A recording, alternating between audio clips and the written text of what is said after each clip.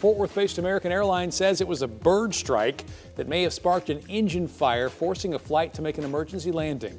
You can see the fire under the wing on this airplane here. Scary video. This flight out of Columbus, Ohio, headed to Phoenix before they had to turn around and land safely. Thankfully, no serious injuries, and the passengers were put on another plane to Phoenix.